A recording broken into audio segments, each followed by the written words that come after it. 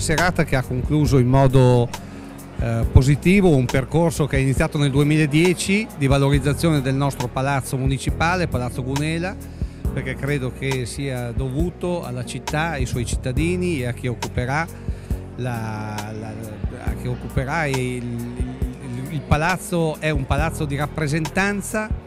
e quindi come tale eh, deve essere un palazzo che rappresenta nel modo migliore sia la città di Voghera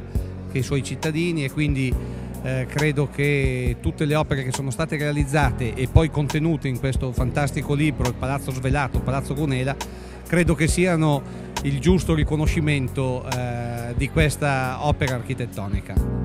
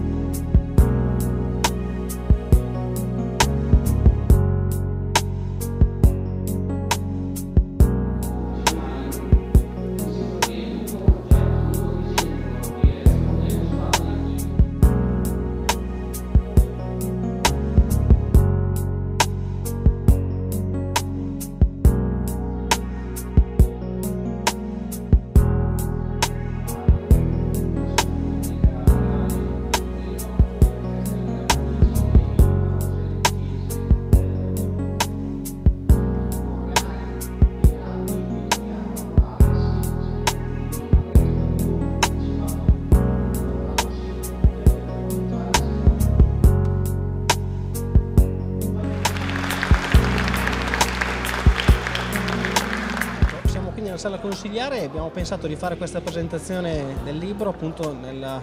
sala consigliare dove così abbiamo potuto far ammirare alcune particolarità a cui spesso i visitatori non fanno caso. Palazzo Municipale è il simbolo del potere civile si affaccia proprio sulla piazza principale, la piazza del Duomo, dove è posto l'altro simbolo,